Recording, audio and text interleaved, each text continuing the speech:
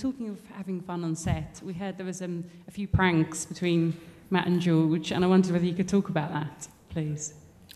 Well, we didn't, you know, I actually was busy, so I didn't really do a whole lot of pranking, but there was one situation. Matt showed up uh, early when we were about to start shooting and said he wanted to lose a couple of pounds. He looked fine, but he said he wanted to lose a couple of pounds.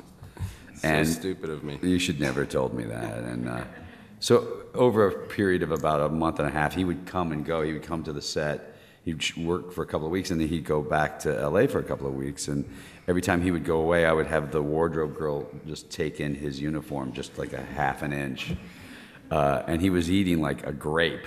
And then he, his pants were getting tighter. And I, I never actually discussed it with him. I found out only a few days ago that you, it really disturbed you. Yeah, and I didn't. I never said anything because I thought I was being professional and trying to lose weight, and it wasn't working. And and uh, um, my favorite prank he actually did was was uh, his father's in the movie at the very end of the movie, and there's this beautiful shot of him. He's in this like really lovely scene. He plays George as an old man, and he walks off into the light, you know, as leaving the church at the end.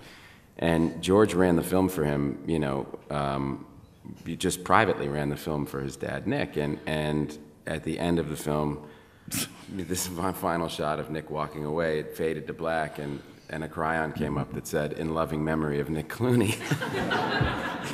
and so Nick is like, What the hell, George? and George is like, Well, I mean, it doesn't come out for like six months, you know. It's much cheaper. It's much cheaper to take it off than it is to put it on.